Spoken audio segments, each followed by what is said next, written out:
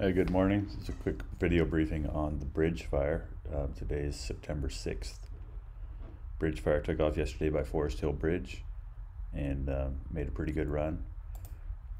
And jump in here and just take a look at it real quick what happened.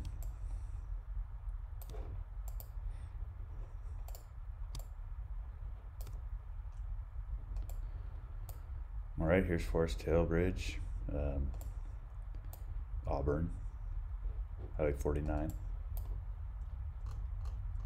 Fire started down under the bridge and uh, ran up out of the canyon.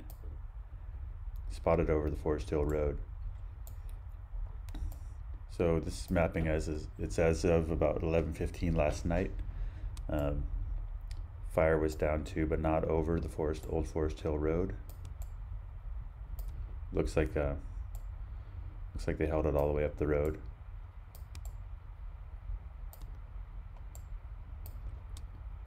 Coming around, looking back to the west. Um, looks like it's within the Foresthill Road here contained. Uh, up on top, um, it's looking really cold, right? So the red line shows the edge of the fire, but um, yellow shows where we've got scattered heat. And if there's no color, it means there's not showing a lot of heat at all. So you can see this is all brush up here.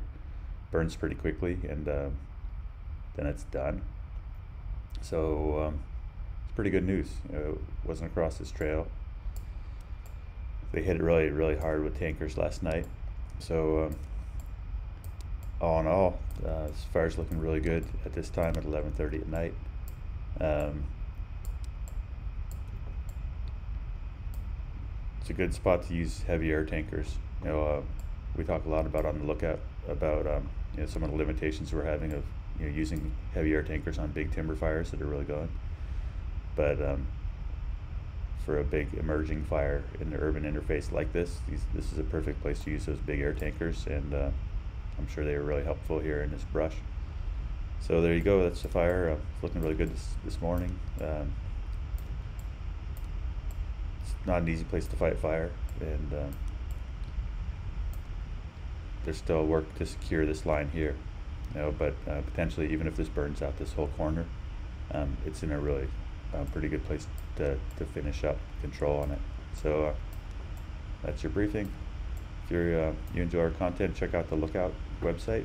There's a link here. Um, we're based out of Chico and we provide fire intel for the public. Uh, we're publicly supported. But check out the Lookout, check out our other videos, and uh, happy Labor Day, everyone.